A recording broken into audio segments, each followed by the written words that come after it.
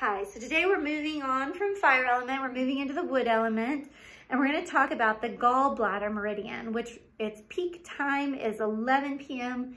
to 1 a.m. And it runs in the body from the temples on the side of the head, over the head, and goes down the sides of the body, all the way down to the fourth toe on both sides. And one of the cool things is that there's a point in this meridian that's called the headache point, which is super helpful. So if you'll just stand up and put your arms, the tip where your the tip of your longest finger touches your leg on your side without, don't raise your shoulders, just let them hang.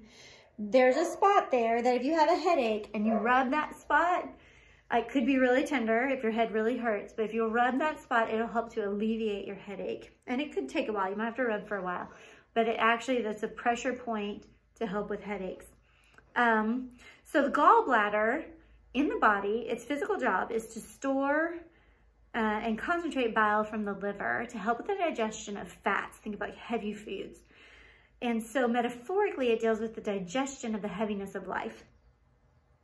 And thinking about small things adding up to be heavy things.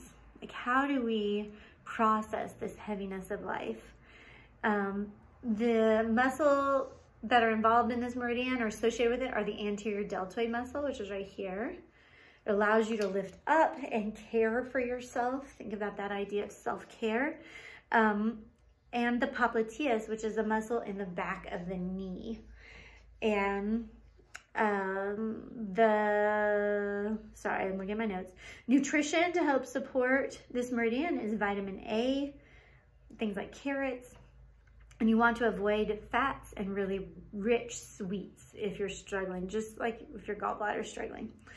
And so metaphorically, think about what parts are you not digesting well in this heaviness of life, if you're feeling like life is heavy, and do you remain too concentrated for your own good? So think on those two questions today, and I'll see you tomorrow.